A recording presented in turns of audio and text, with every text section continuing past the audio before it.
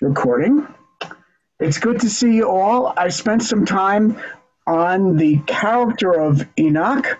Muhammad and Zainab probably are, are familiar with the Quranic prophet Idris, sometimes called Ochnuch. Um, and I will have one Quranic reference. I'm sorry I did not have more. I didn't. I really don't know the um, Qisas al-Anbiya literature as well as I should. I know more of the Quranic material. I'm teaching a Quran course in the spring. I think I'm going to continue working with a lot of the prophet stories from the Quran and see if I can. Um, I know the Quran, the Qisas al-Anbiya stories because I've seen them, I've read them in Ibn Kathir, but I don't have online access and the books that I have are put away and I don't have them. And I know that I can get them. So uh, for today, I didn't have as much. I know there are stories about Uchnoch and about Idris. I have one tafsir, which I have in English on the list. There's a lot of. Yes, Mimi. Um, you know, is this Enoch the same as the Book of Enoch? We will find out, won't we? Okay. So this, I should mention that this is an extension of something from my class on mysticism that I realized I could do a better job at. And part of the reason why I am doing this today is I'm recording it and I will make it available to my mysticism class. So we're going to start with reading the only material that's in the Bible, and that is uh, Genesis chapter 5. Uh, it begins, and Jared lived for 162 years, and he begot Enoch, in Hebrew, Hanoch. Vayechi Yered acharei holido et Hanoch, and Jared lived after he had begotten Enoch for 800 years, and he begot sons and daughters, and the days of Jared were 962 years, and he died. Notice that scripture here says, and he died. And then it tells us Hanoch lived 65 years, and who his son was, Methuselah.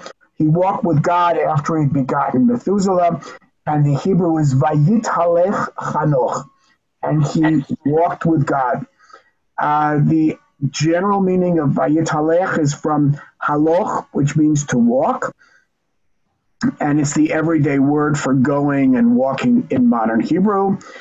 And um, I could have used some examples of uh, Hatznei Lechet, for example, to walk humbly with God is a saying from the prophet Micah that's very famous.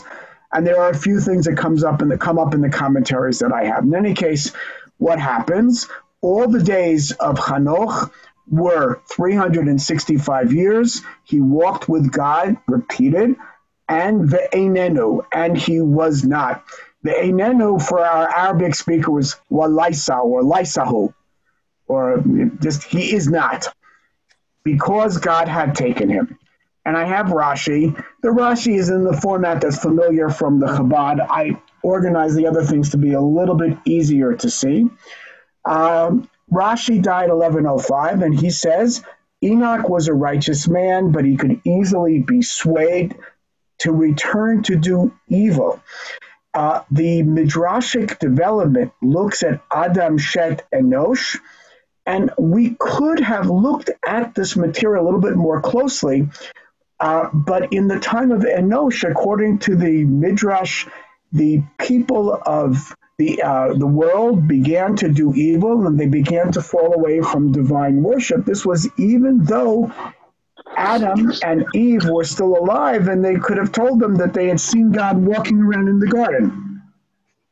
Whatever we should understand from that. In any case, Enoch was considered by Rashi, and he has sources from Genesis Rabbah, that the Holy Blessed One hastened and took him away and caused him to die. The Hebrew Vehimito, he caused him to die before his time and zeu sheshina katuv mitato lichtov be'enenu ba'olam limlot shenotav. And so scripture changed the wording on account of his demise, and he wrote he was no longer in the world to complete his years. Rashi seems to be taking it from Genesis Rabbah. I did not copy this particular passage, uh, but he argues that this means God took him before his time, and he gives you a parallel text from the prophet Ezekiel. Uh, I found the reference in Josephus. I thought it'd be interesting to note Josephus has a parallel text. And interestingly enough, I found a scholar or two who speculate that in this particular case, we may have an ancient survival of the story that the Bible cut out in some of the materials that talk about Enoch, because clearly there's more story than we have in the biblical text. Uh, the, for modern Bible historians who talk about J, E, P, and D, the uh, genealogy of Adam that goes to Noah is part of P, the priestly tradition and they would be very careful about cutting out anything that went contrary to the priestly narrative about what was important. The J material, uh, sometimes used to indicate the first letter of the divine name. Marvin Sweeney, a book who I'm using, uh, an author whose book I'm using in my mysticism class, class calls this Judah. And the late uh, Harold Bloom thought about J as a woman who was working in the circles of David and Solomon, for whatever it's worth. In any case, the J material is a lot more colorful, and we actually have a Hanoch story, which I'll look at in a moment. In any case, Josephus also says, and he dies. Um, I'm going to ask Zainab and uh, Muhammad to listen carefully to Sadia Gaon and tell me whether uh, Enoch died. Walama Asha Hanoch Hams was Satin Sana, Aulid Mitushalach, Wasalach Hanoch fi Taatola, Baadama Aulada Mitushalach, Salath Mia Sana, Aulad Fiha Benin Wabinat. فصار جامع عمره ثلاثمية سنة وخمس وستين سنة ولما صلح خنوخ في طاعة الله Tuwufia wa qabduhu Allahu.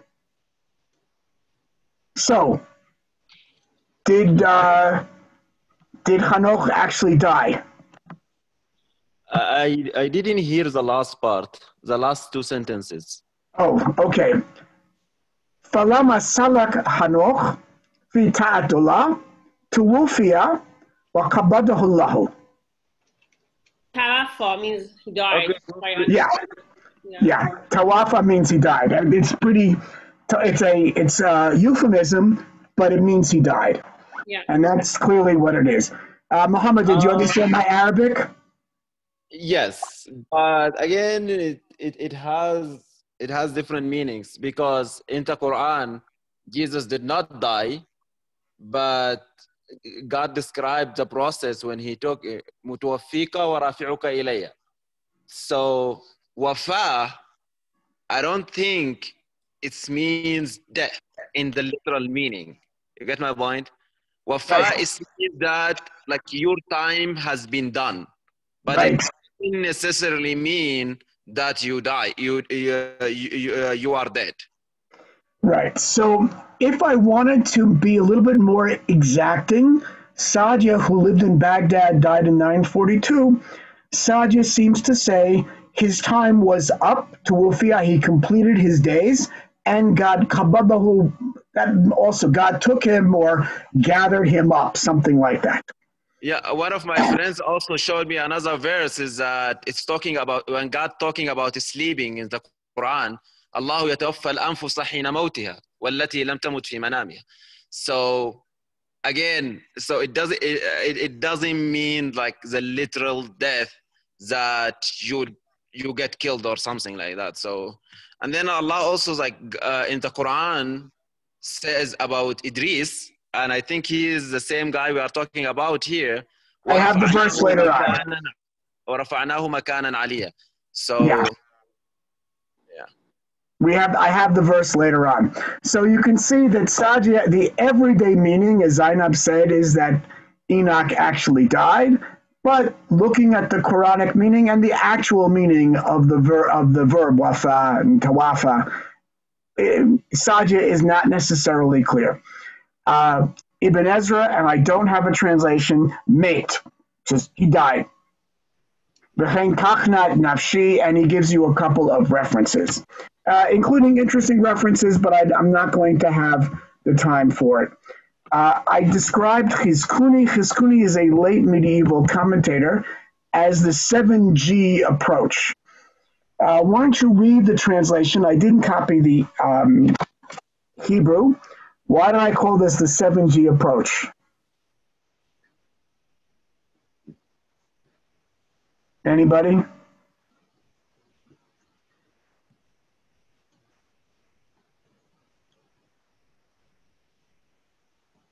Well, seven seems to be pretty significant.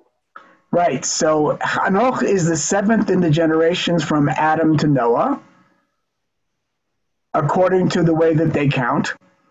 And David is mentioned as the seventh son of Yushai, and uh, the seven is special. There are seven heavens, and there are seven deserts, and some of the versions of this midrash actually tell you what the seven um, deserts are. And Lake Tiberias is the seven seas, and I did not copy Pirkei de Rebbe Eliezer for you, and the seventh uh, universe, and the seven days of creation, and so on. Uh, Genesis 4 has a kind of reverse seven that you might find is interesting. This is the generations of Cain. Hello, how are you doing? Uh, Kabil in Arabic for our um, our, ex, uh, our experts. And uh, here, Cain knew his wife, and she conceived and she bore Hanoch, Enoch. He was building a city, and he called the city after the name of his son, Enoch. We don't have any more information about this, but Rashi seems to say that he named it in memory of his son. I could not find anything about the memory of his son Enoch dying before Cain, other than the possibility that, as in the story in Genesis 5, Hanoch died early. In any case, let me go down over here. I'm a little bit confused. Uh, is Enoch Idris or is he somebody else? Because now, now here in, in Muhammad, in the, I have a very simple answer for you. Yeah. Wallahu a'lam. God knows best. yeah, because, because, yeah, because now they say it's like in the seventh generation from Adam, and then now here they are saying he is a son of Cain. Right. So what I can tell you is that sometimes in the Quran and often in the Bible you have multiple stories, and the stories often line up, but they sometimes don't. So in chapter 4, we have a story of Cain and his descendants. And in chapter 5, we have story of Seth and his descendants. And modern Bible scholarship suggests that one of them comes from sources that are called P and one comes from sources that are called J. And that explains why you have the two different stories. You don't really need that. Traditional scholars would say, well, if Cain and Abel, uh, Cain and Seth had their gave their children similar names. And you know, that's what it is. And if you look at the parallels from the ancient world, we have Mesopotamian and Egyptian and uh, Babylonian and, Arabic. You know, Tabari gives also all sorts of names of ancient people and we don't know much about them. Sometimes we only know names. So and so was a son of so and so was a so and son of so and so. We have lots and lots of names, and sometimes the names seem to be the same. The same person, probably not, but who knows? And I don't really want to go into it in great detail, but if you're interested, uh, the biblical text calls Hanoch's son Irad, spelled with lion, iron rod. And I looked at Josephus. Josephus has a larger, a longer version of this. In the amount of the time that I had to look for the story, I couldn't find very much about this. But Cain traveled over many countries. He, with his wife, he built a city named Nod that's in the Bible. And then he had children. He didn't accept his punishment, etc., etc. He aimed to procure every wicked thing. This is not in the Bible. He augmented his household sustenance. He got robbery. He became a leader of men, introduced a change in the way of simplicity, and so on. And then he set boundaries about lands. He built a city, fortified it with walls, compelled his family to come together. They called that city Enoch after the name of his eldest son. And then Jared was a name of the son of Enoch. I did not look up the Greek of Josephus. I did look up the um, Septuagint, and that is Gaidad. And I don't know how he got it, but you have a version of the story as well. And I have the Midrash Agadah, uh, which I think suggests that you have the seven, the number seven playing here as well. Uh, Vayihi bonei ir, vayikra shem ha'ir Chanoch. Uh, Cain built a city, and he called it after his name Chanoch, uh, because he heard from the Holy Blessed One that his uh, descendants would come to an end after seven generations. So he called the name of the city the name of his son, Hanoch, in order that his name would be remembered forever. And then they quote a verse from the book of Psalms. I don't want to go much into this, I just thought it was interesting. I'm now going back to our main topic, which is Enoch, the son of Jared, not Enoch, the son of Cain. There's a book called Sefer Yashar. It's found in Sefaria. He tells us Jared lived 160 years, uh, 62 years, and it gives it. Then Enoch walked with God. He served the Lord. He despised the evil ways of the sons of man, and his soul was wedded to morality, to wisdom, and understanding. It's a nice thing. Vatidbak nefesh um, chanoch. Tidbak means it, cle- it cleaved to it. It was close to it. And musar, da'at, and bina. Musar is uh, morality, it's training. We'll see Musar at the very end of my talk today means something else. And he learned the ways of the Lord Darchei Hashem. And then Vayipared b'chochmato et nafsho mivnei ha'adam. And his wisdom separated out his soul from humankind. And his soul isolated or became secreted from them for many days. That's what the Sefer Yashar says is the meaning of this. I have no idea what it means. Was he a mystic who practiced uh, some sort of zuhud or um, asceticism or living alone. Don't know. Here's Sforno. Uh, Sforno says that he emulated the ways of God by performing acts of loving kindness and issuing rebukes. Now, all of these are the normal material that I would have expected.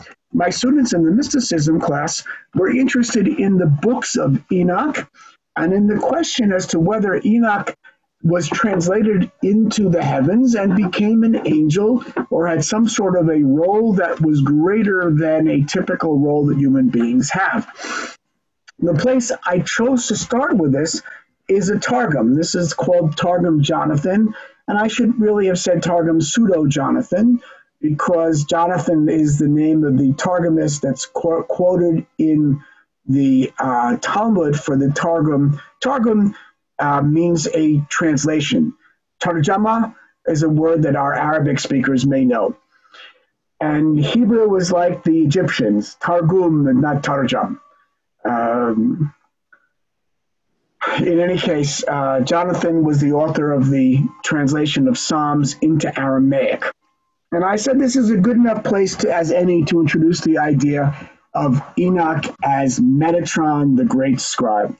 ופלח חנוך בקושטא קודם שמא והלטוי עם דיירי ערעה, ארום נגיד וסליק לרקיע במימר, קודם השם וקרא שמי מיתתרון ספרא רבא. Hanoch served in truth, kushta, that's kissed in Arabic, uh, before the Lord, and behold, he was not with the sojourners of the earth for he was withdrawn, uh, if l'rakia, and he was raised up into heaven by the word, the memar, by a word. Memra is a word that sometimes translates the uh, idea. Philo uses the word logos, uh, which is a very Christian sounding term, but the Targum uses it all the time. The uh, Targum Onkelos uses memra or memar Memar Deshema, the, the Word of God. And uh, his name was called Metatron, the Safra Rabbah, the great scribe, whatever that means. there are three Talmudic references to Metatron. None of them connect Hanoch with Metatron, but it's interesting to look at them, and that's the next place we need to go. Yeah, in, in the Islamic sources, it mentions that Idris, he's the first uh, human to write with a pen. So, Yeah, that's that's yeah, this is these things are quite we'll see what may be a background to that source why the people who first heard the quran thought that made sense in a couple of minutes but i'm going to take a uh, you might say a trip through two of the three mentions of metatron in the talmud because they're important and they don't really relate to Hanoch, but it's important to note that they don't because there's a certain amount of discussion about it. This is from a treatise called Chagiga, and I've gotten the material from Sefaria, which in which the material in bold translates the Talmud. The material in blue is a reference, and in Sefaria, those references are live links. Uh, they might even be here it looks like they are live links. So that oh no, it's not. It's a file. It won't it won't actually work in the PDF. but they do in Sefaria. And so it says Acher kitzetz benetiot alava katuv omer. Acher chopped down the, the saplings. And uh, the interpreter says, the, the commentator says, becoming a heretic. With regard to him, the verse states, Do not let your mouth bring your flesh to guilt. And now they're going to explain what the verse means. What was it that led him to heresy? My, what was it? Chazah mitatron, v'tyehiva le reshuta lemetav lemichtav zichvata d'Israel. So he saw Metatron, who was granted permission to sit, this is to sit in front of God, and milamichtav to katav to write, zakavata. These are the zakut. These uh, um, in Arabic you write zakut, but you pronounce zakat. Uh, the merits of Israel. In Hebrew, the merits are not only financial uh, of Israel, but you can well imagine that if you're talking about zakat, we'd be talking about writing them down, especially if they were financial. In Arabic, zakat is used primarily to indicate giving religiously ordained um, percentage of your wealth in charity. And the Jews know that we just had Yizkor, where we give charity also bischut uh, avot in the for the memory of our ancestors and of uh, our especially of our parents. Amar, and he said, Gemira dilmala lahave la yeshiva velo taharut velo velo ipui shema chas v'shalom shnei. And he says, you know, we know that there's no sitting and no competition, no turning one's back, all face the divine presence. And he translates this no lethargy. Since he saw somebody sitting in addition to God, God sitting on the throne and Metatron sitting as a scribe, he says maybe there are two powers in heaven. And that's how he went astray. Anyway, Metatron got punished. He got hit with 60 rods of fire. And this word, pulse denura, has a very interesting background. The pulsa denura, Simcha, you probably have heard about the pulsa denura, right? Uh, is it in your material there? I lost my place for a second. Hold on. The Kabbalistic curse. Pulse of Pulsa denura is a curse. There's a curse, right? Uh-huh. was really Yeah. cast on uh, Yitzhak Rabin and uh, Ariel Sharon, I think. Yeah, that's right. So here we see the a Talmudic source about it. So uh, this pulse de nura, whatever it means, uh, was a very wicked curse that caused the death of human beings. It probably did not cause the death of the angel Metatron the way it was understood by our Talmudic uh, authors. But the idea being that Metatron was hit by the pulsa de nura, and not only one of them, Shitin, 60 of them. Right. Amarle, he said to him, uh, my Tama, what's the reason? When you saw Elisha ben Avuya, you didn't stand before him. That way, Elisha would have known that you were not God. Um, in any case, uh, Elisha, I'm sorry, uh, Metatron erased the merits of Elisha ben Abuya and caused him to stum- stumble. And then there was a divine voice that went out. I'm just going to briefly tell you the end of this particular story. Elisha ben Abuya said, Well, now that I know that there's more than one deity in heaven, I'm going to go out and enjoy the world. And the word that's used in Hebrew is um, uh, tarbut ra'ah. He went out to bad, uh, bad culture. Tarbiyah is the Arabic, tarbut ra'ah, bad tarbiyah. And uh, so he finds a prostitute and he pulls up radishes on the Sabbath, gave it to her, and she actually gives him the name. She says, Vihavla, I'm sorry, Amra Acherhu. She said, No, this is somebody else. He's he's become a different, and that's the name that stuck. The passage in Sanhedrin is not all that uh, well, the passage in Sanhedrin is very relevant to the further development. Uh, the one that is in uh, Chagiga is far more important in terms of Jewish mysticism. Elisha was one of four rabbis who went to heaven, and he's always cited for the problems that you might have if you engage in mystic speculation. Sanhedrin is another tractate of the Talmud, and here we introduce Metatron with the idea of my name is in him as an angel who led Israel and led of some of the uh, some of the ancestors of the Israelites. Uh, this has to do with heretics. That's the context. Rav Nachman says somebody needs to know how to respond to heretics, like Rav Idit says. The Gemara says, here's a story. A heretic said to Rav Idit, it is written, and Moses says, come up to the Lord.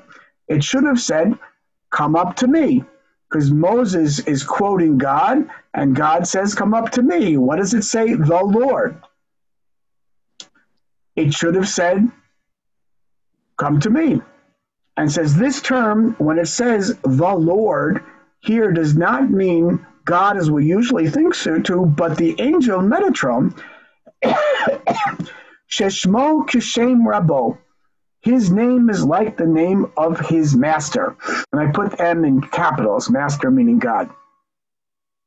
As it is written, and the text only gives you the last part of the verse. In Exodus 23, for my name is in him, Kishmi Bekirbo, which the interpreter here is saying, the uh, this is Rav Nachman or Rav Idit being quoted by Rav Nachman, says this verse tells you that there's some sort of angel on high, and his name is like the name of his master.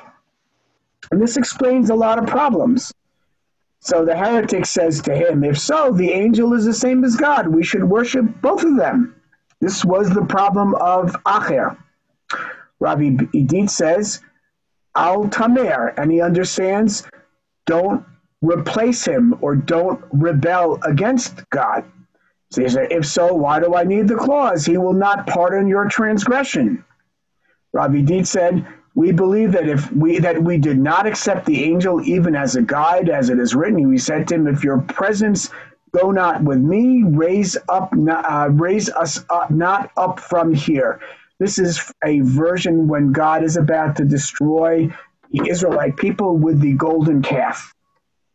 Moses told God, having Metatron go with the people, or some angel a farvanka, which is a Persian word, I think. Actually, Zainab, you should know. Farvanka, does this make any sense to you?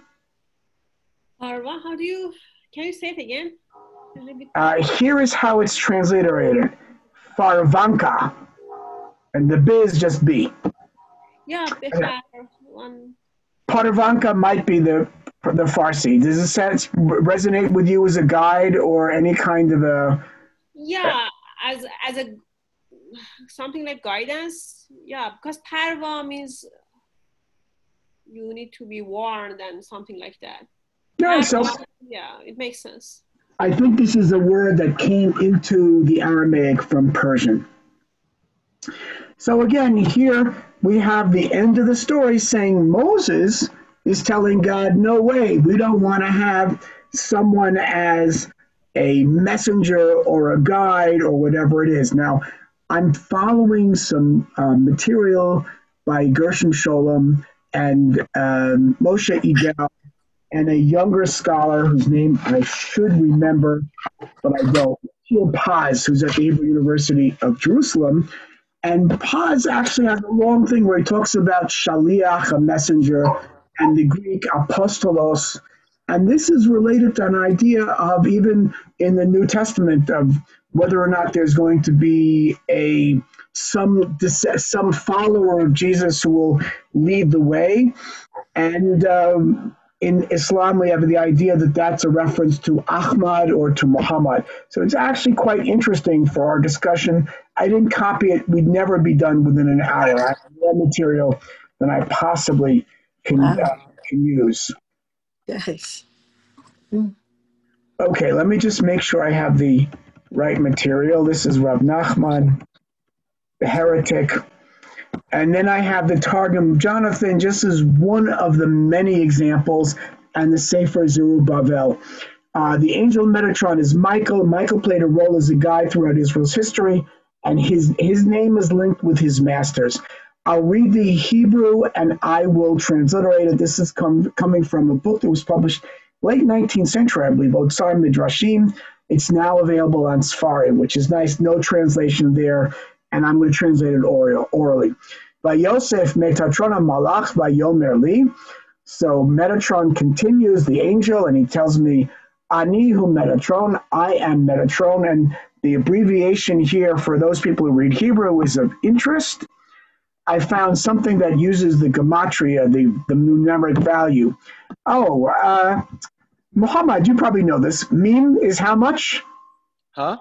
Meme. How much is meme? Meme? Yeah, in numbers. I have no clue. Abjad yeah. No. Yeah. Didn't you learn Abjad Hawaz at one point? No, no. Uh, too bad. So meme yeah, is we 40. we don't have it at the school, in the school. Yeah, well, you should. Abjad Hawaz uh, 1, 2, 3, 4, and so on. Uh, and Tet in Hebrew is worth 9. So this is 40 plus 9 plus 9, 58. And I think I have it here. If I don't, I will try to remember to tell you at the end what the reference is. So Metatron said, I am Metatron, the uh, minister of the interior, and my name is Michael. And God put me over, actually, I'm supplying God Vayisimenu. Somebody put me over his people and of the uh, Ohavav, the people who love him.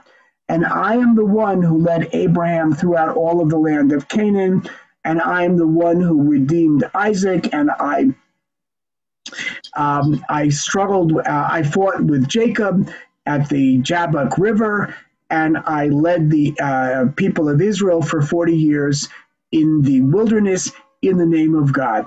And I am the one who appeared to Joshua uh, right after he crossed the Jordan River in, Gal- in Gilgal. And I am the one who is the na- same name as my master, and my name is within me. Again, a reference to that verse. And Targum Jonathan has something very similar to the Sefer Zerubbabel. Sefer Zerubbabel, despite the fact it was published a long time ago, is an apocryphal work that really doesn't know very much. Um, Targum Jonathan also has a reference. Michael, the Prince of Wisdom, said to Moses on the seventh day of the month, Come up before the Lord and worship as a distance. And again, we have the reference of Michael, the Prince of Wisdom, very similar. And uh, there you go. Uh, then they asked about the book of the books of Enoch. Traditionally, we talk about three books of Enoch, and I have references from all three of them. I think only third Enoch actually has a Hebrew version that survived. Uh, Enoch 2, I think, only existed in um, uh, Ethiopic. Uh, I don't know whether it had a Greek version. And I should know this stuff better than I did. I complained to my mysticism class, and one of the things I found this past summer is that I thought I knew more than I did. When I began to prepare, I realized how large my the cracks are in my training. In any case, the books of Enoch clearly were known to the late antique rabbis in Palestine, in, in the land of Israel, and in Babylonia. Uh, they probably were even known to the Dead Sea Scrolls people or refer to stories that were known to them, uh, and may even have some memories of stories that circulated among the uh, ancient Israelites that were cut out of the Bible. I say this very guardedly because normally I would say that you really cannot assume that there's an awful lot of that material, and that it's much more likely that the books of Enoch that talk about Enoch going to heaven depend on the biblical text as it was understood rather than preserving material that was not preserved in the Bible. But again, that's my approach. And here I have to say, I saw some people who raised that this as a possibility, and uh, you know, it could be. I don't, I don't want to overstate the possibility, but I do want to mention it as a possibility. So here we have Enoch transfigured, clothed in majesty, in words that may suggest to those familiar with biblical texts to be an awful lot like the image of God, clothed in majesty like an angel. We also have a scribe, but it's important to note that Metatron is not part of the equation here. Uh, you can read this very quickly. One of the things I found interesting, let's see if it was preserved in the PDF. So I think you can see my, my screen. It says scriptures.lds.org. And this particular version uh, has a lot of references to Latter day Saint scriptures, including the books of, the, of Moses, which are in the Pearl of Great Price, in case you're interested in such things. So Enoch, like the rabbis who went to heaven, like Muhammad who went to heaven and learned about prayer, uh, Enoch goes to heaven. In this particular version, there are more than seven heavens. The eighth, ninth, and tenth heaven are above the seven everyday heavens that everyone knows about. So if this one is called Aravot, and I saw the appearance of the Lord's face. And I saw the Lord's first, but the face is inevitable, ineffable, marvelous, and awful here, meaning full of awe and terrible. How am I to tell of the Lord's unspeakable being and so on? And he talks about the cherubim and the seraphim and their singing. I fell prone, bow down to the Lord. And uh, then the Lord with his lips say to me, Have courage, Enoch, do not fear. Arise and stand before my face. Before my face is like um, Min uh, in front of me um, for eternity. And then Michael lifted me up and led me to before the face of God. I bowed down to the Lord, and uh, then uh, the glorious ones bowed down. Let Enoch go according to your word. The, Lord said to Michael, Take Enoch out of his earthly garments and anoint him with my sweet ornament. Put on the garments of my glory. So Enoch here is invested with the robes of God. My mysticism class looked at some of the material in Ezekiel and Isaiah, which uh, talk about the robes of God. And here we have Enoch, a man, you might say, transfigured. And we see that Michael does this, summons one of his arch- archangels, and then bring out the books from my storehouse and a reed of quick writing and give it to Enoch. So in this particular source, we don't have Enoch inventing writing, but Enoch is given the, pel- the pen by the angel at the divine command and uh, is taught to write. Dr. Ward, I have a question about the uh, the robes. Is it kind of like uh, I think Adam Harishon had a had some kind of vestments? Is it like that, or is it thought to be understood as like a spiritual garment? Uh, I have no idea. One of the things that it doesn't really quite bother me is that I have never gone up to heaven to see God. And and therefore, I don't know that I want to speculate what either what they actually are or what the people of who wrote the books of Enoch thought they were. My guess is that they both. Be- uh, look, I can tell you the solution that came to dominate among Muslims who had some of the same questions. I like the solution a lot. The Muslim, uh, the Ashari tradition, on the one hand, wanted to assert the literal reality of a lot of these things. So when they talk about the balance and they talk about the hand and the foot of God, they say this is not a metaphor, this is real. But they also say, Muhammad, you know what they say, what the Asharites say? Yeah, it say ليس كمثله شيء وهو السميع البصير. So if God says he has a hand, then he has a hand, but it's not like our hand. So Right. you're gonna have a description for it. Right. And And they say also, you- yeah, the it's not gonna benefit you to know how it looks like. yeah, the Lakkaif, we don't ask how. Because that almost sounds like the Tanya a bit. Yeah, well, Tanya is part of the same mystical tradition. Okay, and then all the things I've told you, we have written, sit and write all the souls of mankind, however many of them are born. And so we have in the book of Enoch, we have the notion of Enoch writing everything. And this is similar to Metatron, but in this particular book, they're not the same. Whatever you want to say, scholars who's who are more specialists than I am debate whether the Enoch and the Metatron traditions are the same. Exodus 23 is I am sending the angel before you to guard you on the way to bring you to the place. And this is the verse since my name is in him, it should have gone before. The apocalypse of Abraham is the next source.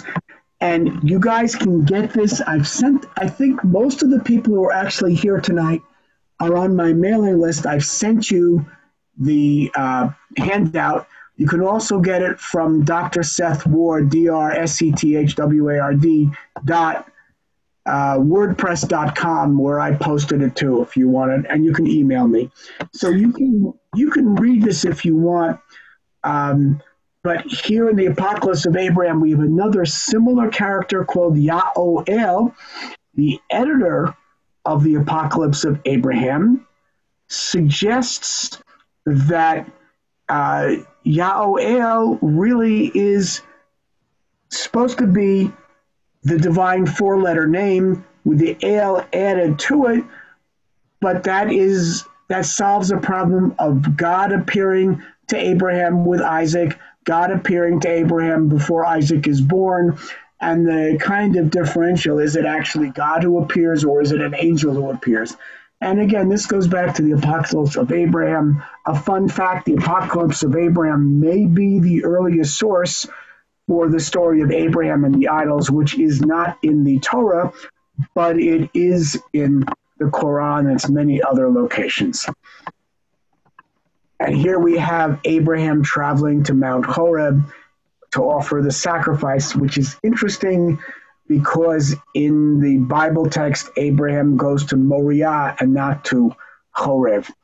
In any case, uh, I copied this from a PDF. There are some problems with formatting. I'm sorry from it. Here's the Enoch, the first Enoch. And this is very interesting. My Christian students or students interested in Christian sources will find it interesting that Enoch has this idea of son of man.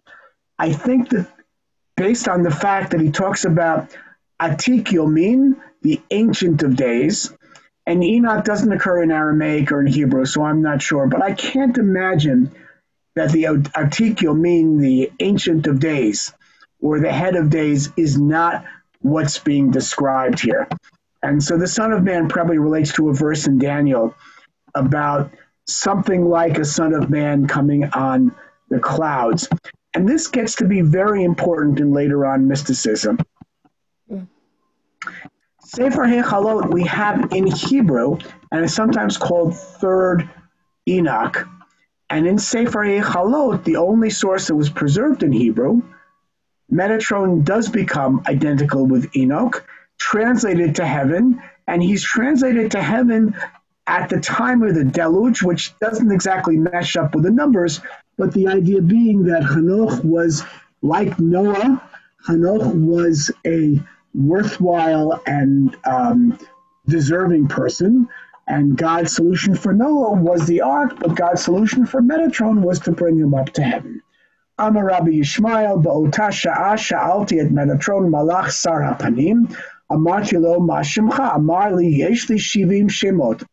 So at that time I asked Metatron and said to him, why are you called by um, Sarapanim means the um, prince of the uh, interior. And he says, I have 70 names. And they are 70 names for the 70 nations of the world. I'm translating the Hebrew. And um, Aval Malchi Kore Oti Nar, but my king calls me Nar, youth. And then Rabbi Ishmael says, Why are you called by the name of your creator, Beshivim Shemot? By 70 names, and you are the biggest of them, and the greatest of all the angels. And then he goes on, I'm skipping down a little bit. He says, I am Enoch, the son of Jared. And you can see in Hebrew, the editor put this in large letters. And he goes on, he tells the whole story when the generation of the flood sinned and they were confounded in their deeds. And maybe the time when Enoch went to heaven is when the generation began to be um, guilty.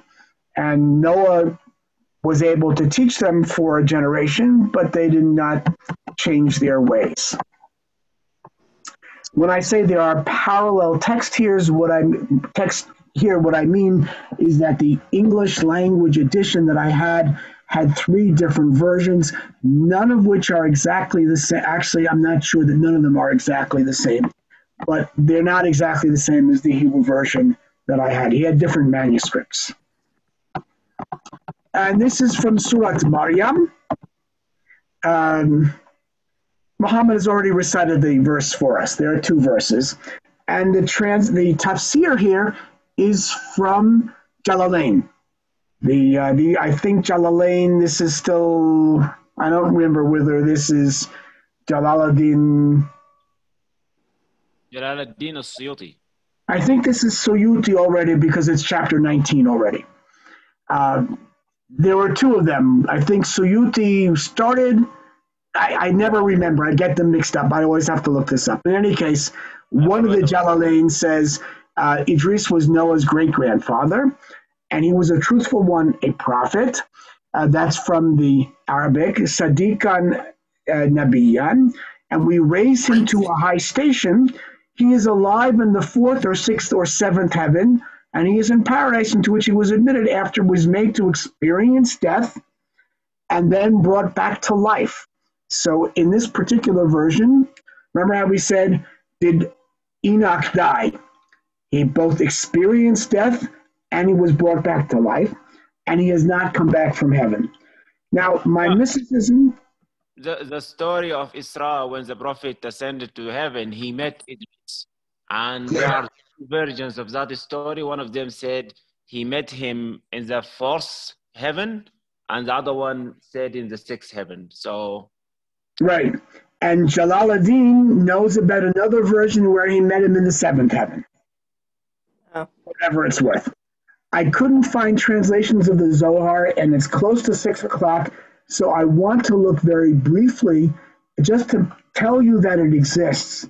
Rabbeinu Bachya was in Spain in the 1300s in a generation that was already familiar with Zoharic Kabbalistic thought. So he uh, thinks that Hanoch's years were 365 years, and, that the Bible is telling us that he was an astronomer. He knew the solar year, and that he was familiar with the power of the sun, and realized that this was due to celestial input and remained active within the sun. This sounds an awful lot like philosophic mysticism in those days. Uh, Rambam, Maimonides would say, you look at the sun and you realize the sun was created by God and is the source of all of our energy on earth. And that God is the source of the sun, and so on and so forth. Okay? And uh, the original light, which came from God, is drawn into the sun, and the righteous person, Hanoch, merited to enjoy it. And the Torah is telling this because it uses the word Vayehi, and another place where it uses Vayehi is Vayehi or, and there was light. So the fact that there, it says Vayehi, and it was in the singular, is to remind us of Vayehi or. Very interesting. And then it says we have another Vayehi. Moses, when he was at Mount Sinai, was granted illumination of the Torah and he descended the second time, his forehead emitted rays of physical light. Hanoch walked with God. Rabbeinu Bachya is giving us walking with God and tells us that Hanoch and Noah and Abraham realized that there was a, a significant power. I'm not going, you can look at the, the five luminaries and the seven lights and uh, so on and so forth. I'm not going to talk about any of this because I simply don't. I want to finish. I told you that if we had time, we'd come back to the 58. So Hanoch, uh, the first two letters of his name, Chenun, are 58. That is the first three letters of Metatron. So Bachya sees Hanoch as being related to the angel, which is second only to God, really. He gained sufficient insight so that his name reflected these intellectual accomplishments. As a result of these insights, his body and soul underwent changes by becoming unified. As a result, there was no need for his body to die, and God was able to remove him from the earth without the body having to be left behind. Now, this reminds me of an awful lot of mystic stories. I don't know that many Jewish stories, but there are stories about Rabia al Adawiyah that that's what happened to her. And some of the Sufis and Muhammad, you'll forgive me, uh, with Bahan Fanat, that uh, they they left behind their physical body, having achieved only the spiritual body. People who believe this and talk about it publicly in Baghdad, they got executed uh, because they had not left their physical body and they were able to be killed. In any case, Bachya offers his solution to our problem. I'm sorry that this skips back. Okay, and then the Einenu, and he ceased to be. the sages of Jerusalem Talmud interpret it as a combination of El Ayin, an acknowledgement of something. I did not look up the Yerushalmi. I'm sorry.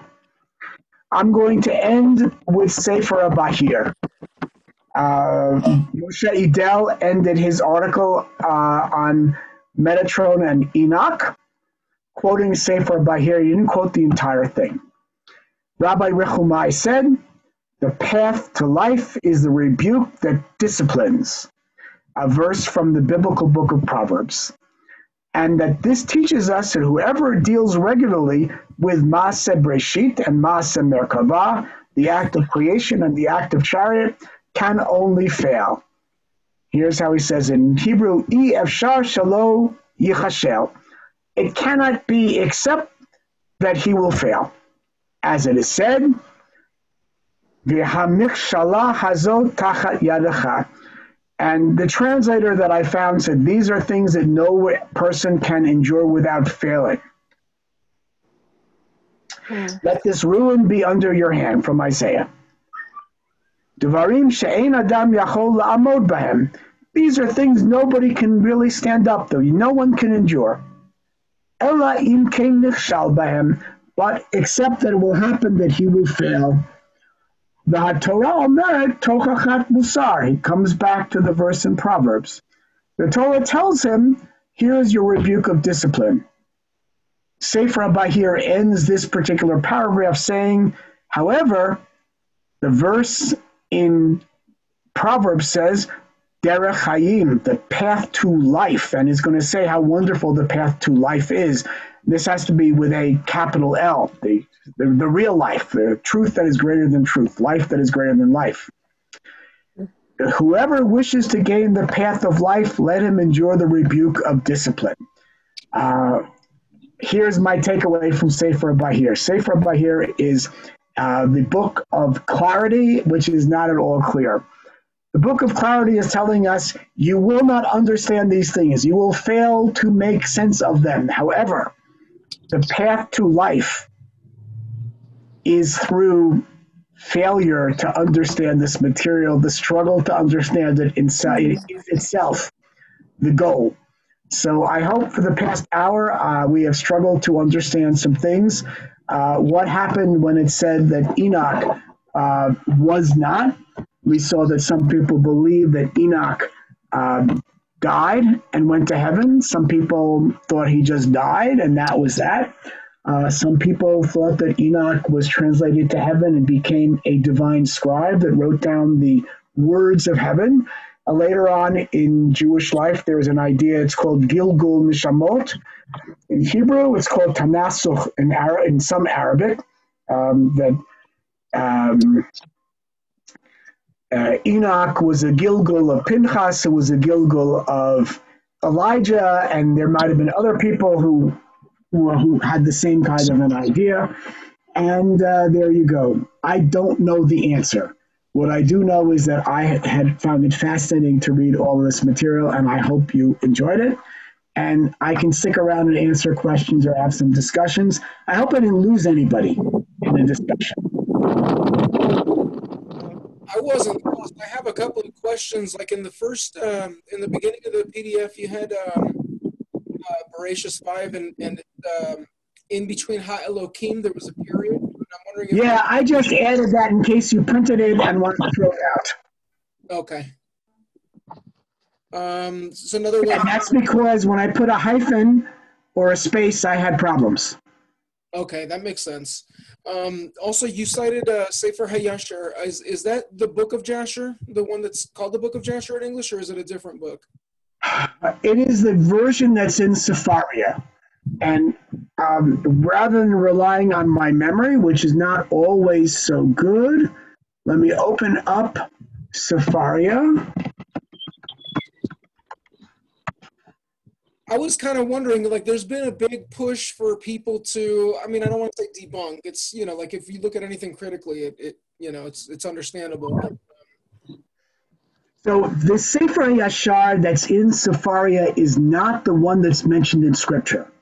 okay, It is named after it. It says that it was composed in late Middle Ages Spain in 1300, which means it's post Kabbalistic. It's attributed to Rabbeinu Tam, which would make it Spain, uh, France, and pre Kabbal. Well, frankly speaking, probably non Kabbalistic. Rabbeinu Tam was during the period when the Kalonymuses and so on were involved in the Hasidic movement of the Middle Ages, but he was a Tosafist and a grandson of Rashi, and probably not at all involved in it. I remember as a kid going through Zerachia Hayavani and um, Yona Garundi and so on. And what it says over here, it's similar in substance to ideas that were present among the Hasidei Ashkenaz, which is a good reason to assume that it was, for my to my mind, that it probably was not written by uh, Rabbeinu Tam. I don't know where the editors of Sefer Yashar got the idea that it was Spain in the 1300s. The most likely location is Torat Emet or Simorkon, one or the other uh, said that it was. And somebody may or may not have done the research. I hope that's not too erudite to bore you with all those details. No, not at all. Um, I, I have another question too because you mentioned when they, they what they translated as "son of man," um, and you tied that to Atik Yomin. I mean, would it be too much of a stretch to maybe see that as like a like a conceptualization for Mashiach Shabador? I think so. One of the reasons my students sometimes ask me, why don't I know more about the book of Enoch, the books of Enoch? And one of the possible reasons is that the Son of Man notion became so prominent among the Minim, the heretics. Now, I'm not going to suggest that the Minim, the heretics of one of the two Talmudic passages, were Christians. But the Son of Man notion became so prominent among them that the rabbis ditched the books of Enoch because one of them had this idea that Enoch became um, Bar Nasha, I think is the is the version in Sefer Daniel. And again, I don't know that that's true. It is true that I've seen people who argue that. Um, I suspect that this is part of messianic speculation, and one of the texts that I looked at connected uh, this whole business with the Mashiach as well. But I cannot say that I can't say that this is for sure.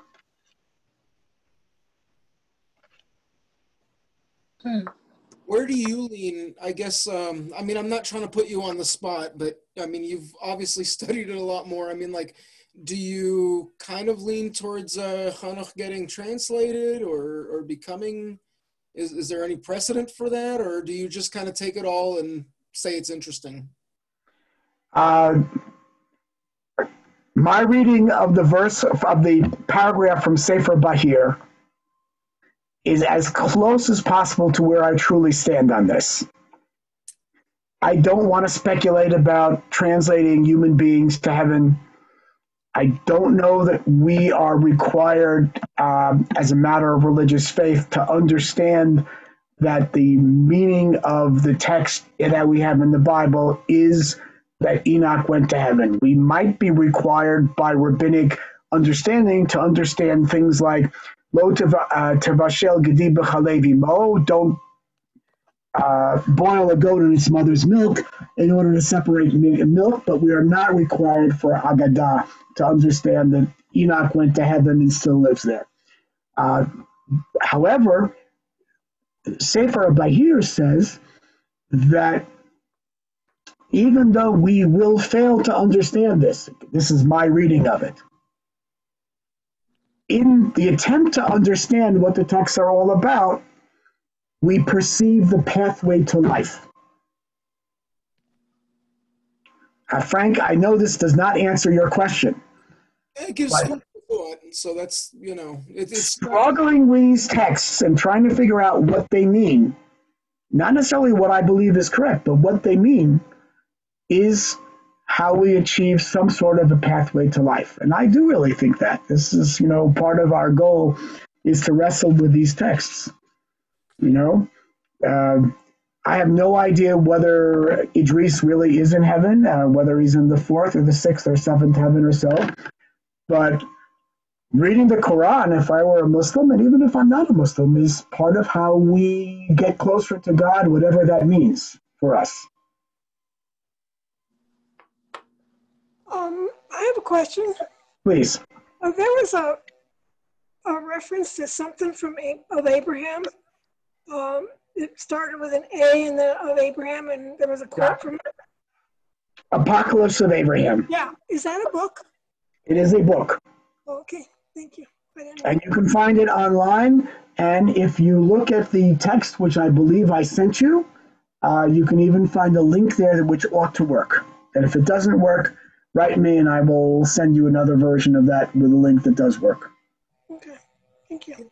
You know what? We're talking about books of, uh, like I guess, attributed to Abraham. Um, I had heard of one a while back, and I haven't been able to find it. It was a rabbi. I think he was conservative, but you know, like not that that really matters. Um, he was quoting something about like the seven worlds of Abraham or something like that. And I was wondering if maybe you, you know. No idea. Sometimes uh, Dr. Google can find these things very quickly. Yeah, I've been trying to find it again. It's been, I mean, that was what, like maybe three years ago. Um, I just thought maybe like you know because there's a lot of key, you know you you think oh yeah I know that book I know that book I read that book and then there's always another one where like whoa you know I I didn't I'd never even heard of this one like there's one about like the staff of Moshe and um, or the rod of Moses. Yeah, there's actually there was a legend about Hanoch and the staff of Moses also that Hanoch was responsible for writing Detzach Adash Be'achav as a scribe on the staff of Moses, Simcha, you may you may have heard this uh, um, as a uh, midrash that might have been told by Chabad. And some people associate this with Hanoch also, and somehow or other it uh, came to Moses, um, and that or to Aaron and Moses, and that was how the miracles were done. Uh, there- there's so much midrashim on this, you know, that I don't, uh, yeah, I, don't know. you get, I, I'm kind of sitting back and trying to understand everything that you've said today, but it's uh, it's extremely confusing to me the way you've gone about this. But that's just maybe it's just me. I, I take a much more straightforward approach to what's done. I think that Breshit Rabbah kind of clears up the thing within it and you know kind of done. But I mean, it's I don't find it as interesting as you as you do, perhaps. To, Well, I, I wouldn't have been interested in it except that my students asked me about who Metatron is and how whether Metatron is related to Enoch. And I don't know that Breshit Rabbah clears that up. Well, it doesn't clear up that point, but it clears up who Enoch is. So therefore, it clears up that point in a certain sense. So Okay. you know, it's it's an interesting intellectual exercise, but maybe nothing more than that from my point of view. so, You mean it clears up who he is, like from the line of Yared? wait, what was that? Are you are you saying it clears up the point of uh, Hanoch being uh, uh, son of Yared? I think it, yeah. Well, not only that, but I think it, it clears up the point that uh, that Enoch actually died and went and uh, before his time, and and I, I I hold with this view with Enoch that he died that you know he, he's kind of like in a sense almost like Noah in a certain sense, and that he was probably at the time. You know, it appears at least from what Rashi's comment is and from the Midrash that he was very righteous, but he did not have the ability, uh, just because of his own way he was, you know, and dealt with things, that he didn't have the ability to turn other people towards a more righteous way of living. And so, therefore, uh, you know, God, rather than see him go to the quote unquote dark side, the evil side, you know, took him before his time and said, you know, I, I'm going to save you from, you know, having to be uh, walking the path of evil, you know. I mean, even we see this with Noah, you know, that we even, even when we talk about Noah, you know, God picks Noah, but why? He goes, well, on our relative terms, you're the most righteous, but you're not righteous as if you were really a truly righteous person. But compared to everybody else, you're the least of the scoundrels, so you're it. I need somebody. Kind of like getting MVP if you were the least uh, the the player with the least errors. Yeah, Yeah, exactly. It's not I that like you're, it's not you're, it's not you're not the goat. Not the greatest of all time. So uh, I like to I like to remind people that scripture doesn't say not the greatest of all time, and that's a debate between different commentaries right. on on the text. And we can give precedence to Rashi, who reads it that way, and some of the other midrashim, but others don't. And a lot of the material that we looked at today puts Enoch, Noah, Abraham, and Moses together in one basket, uh, even though it doesn't necessarily say they are all the same. So, you know, that's another way of looking at it. Um, again, I don't have an answer. I think spending time with this is my answer for it. Uh, I will take one more question, one more discussion. After that, um, Frank, this is another answer also. Time for mincha, soon after this. Or as Zainab would say, uh, I have a few minutes before sundown for the afternoon prayer. Wow. so, so, so Jesus said he was the Son of Man, right? And the word of Son of Man is in like Christian things. Uh, rather than debating exactly what Jesus said, what I suggested was that it may very well be that the reason why the books of Enoch were not preserved in Hebrew texts, for the most part, was because of that reference and because of a rejection of the minim. And I showed you a passage from Talmud, which we have a uh, a min, a heretic, and sometimes the meaning refer to Christians.